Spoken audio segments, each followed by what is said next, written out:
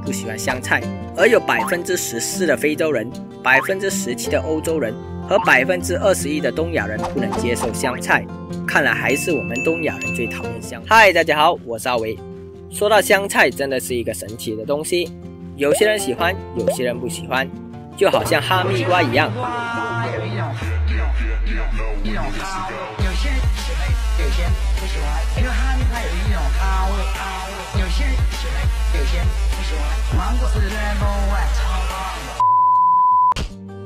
好，不管芒果是不是 number one，今天我们要讨论的主题既不是芒果，也不是哈密瓜，而是香菜。其实香菜又名为盐荽，它之所以称为香菜，是因为它在做汤时能额外增加汤的清香外，在烹制肉类时也能去除一些肉腥味，而同时它本身也有一种特殊的香味。对喜欢香菜的人来说，这是一种清爽、或酸橙的香气。但对于讨厌香菜的人来说，却是一种肥皂、虫子或是泥土恶心的味道。那为什么会出现这种两极的情况呢？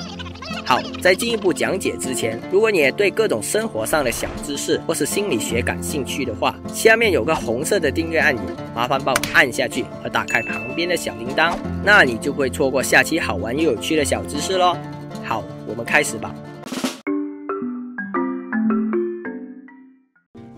香菜具有特殊的气味。根据调查，世界上大约有七分之一的人不喜欢香菜的味道，他们觉得香菜的味道就像肥皂或是臭虫一样。然而，对香菜化学成分进行了分析，发现香菜内含有大约四十多种的化合物，其中百分之八十二是醛类，和百分之十七是醇类。醛类是香菜强烈气味的主要来源，在肥皂和臭虫释放的毒气中也含有这种醛类成分。这也就是为什么香菜的味道会和肥皂虫子扯上关系的原因啦。那为什么不是每个人都闻到相同的味道呢？加拿大学者认为，这也许和基因有关。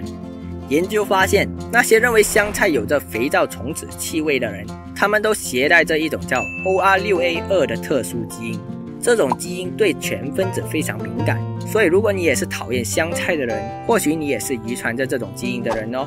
话虽如此，但在不喜欢香菜的人中，也不完全所有人都是因为基因的关系，其中还有两个原因是出生地的饮食习惯和个人的心理因素。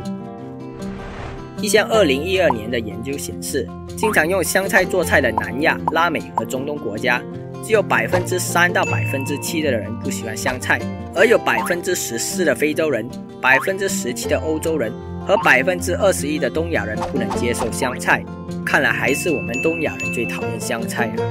至于个人心理因素的原因，或许有些人从小没吃过香菜，但时常听家人朋友说香菜很难吃，又或是第一次吃香菜时的印象不太好，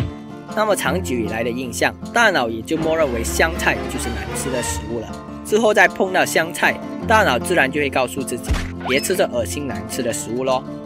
无论你是喜欢香菜还是不喜欢香菜，香菜确实还有它的营养价值的。它的维生素、胡萝卜素、膳食纤维、膳食矿物质等等，几乎所有营养价值都高于我们一般认为非常有营养的番茄。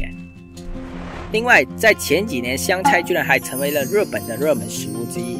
各式各样的食品都出现了香菜口味。如香菜薯片、香菜冰淇淋、香菜爆米花、香菜香肠、香菜泡面、香菜咖喱、香菜寿司、香菜饮料、香菜酱等等，几乎所有你想到的食品都可以有香菜口味，甚至还勇夺了2016年的日本话题食物的冠军。